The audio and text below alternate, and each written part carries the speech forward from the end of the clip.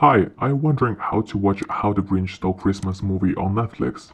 Well, if you are located in the United States, Canada, or quite a lot of other countries, you won't be able to watch Grinch by default. So on this website, unogs.com, you can check what movies are available in specific libraries of Netflix.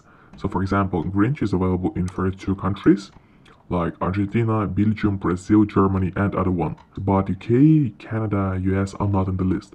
So there's a way to still watch Grinch on Netflix, even if it's not available in your Netflix by default.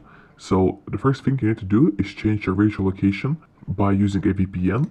And the best VPN for Netflix is NordVPN, because it works with quite a lot of countries. So here's how it works. Uh, as you can see, Grinch is available in Germany. So we just open NordVPN app. And by the way, I'll leave a link to official website of NordVPN in the description of this video.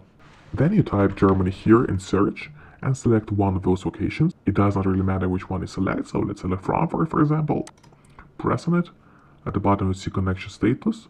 Now it says protected, it means we have successfully changed our virtual location to Germany. And the only thing left to do now is go back to Netflix and reload the main page. And as you can see, we start getting top 10 shows in Germany now. So the only thing left to do is go to search and type Grinch and here it is. So it's simple as that. Just use NordVPN as your one-click solution to access different libraries of Netflix and be able to watch Grinch and other movies on Netflix which are not available to you by default. So the link to NordVPN is in the description of this video.